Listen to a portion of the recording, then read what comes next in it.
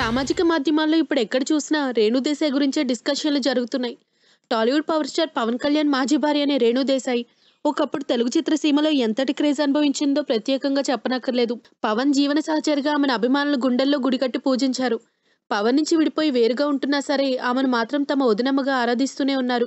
కానీ రేణుదేశాయ్ మరో పెళ్ళి చేసుకోవాలని నిర్ణయించుకోవటం పవర్ స్టార్ అభిమానుల్ని బాగా హర్ట్ చేసింది. పెళ్ళి అనేది ఆమె వ్యక్తిగత నిర్ణయమే అయినా ఇది ఎమోషన్స్తో ముడిపడిన అంశం కాబట్టి పవన్ అభిమానులు తట్టుకోలేకపోతున్నారు.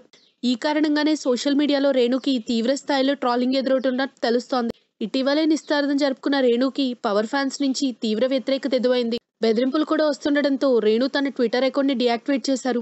ఈ నేపథ్యంలోని ఇన్స్టాగ్రామ్ లైవ్ ద్వారా తన అభిప్రాయాలను పంచుకున్నారు. కొందరు సారీ వదిన అని పోస్టులు పెడుతున్నారని తనకెందుకు సారీ చెప్పడం అని ప్రశ్నించారు రేణు దేశాయ్. హాయ్ వదిన అని మరికొందరు ప్రశ్నిస్తున్నారని వాళ్ళందరికీ చెప్పేది ఒకటే త్వరలో నేను పెళ్ళి చేసుకోబోయే వ్యక్తి మీ అందరికీ అన్నయ్య అవుతాడు. ఇప్పట్లాగానే ఇక మీదట కూడా సంతోషంగా ఉంటాను. అఖీరా అద్య కూడా చాలా హ్యాపీ. అయితే కొందరు పని పాట లేని వాళ్ళు చెత్త కమెంట్లు పెడితే ఇబ్బంది పెట్టేందుకు ప్రయత్నిస్తున్నారు. అలాంటి వాళ్ళు సోషల్ మీడియాలో టెన్ పర్సెంట్ ఉంటారేమో. ప్రస్తుతం నాకు చాలా గుడ్ మెసేజెస్ వస్తున్నాయి. నాకు కాబోయే భర్త ఎవరని తెలుసుకోవడానికి మీరందరూ ఎంతో ఉత్సాహంగా ఉన్నారని నాకు తెలుసు. కానీ పెళ్ళైన తర్వాత ఆయన్ని మీకు చూపిస్తా.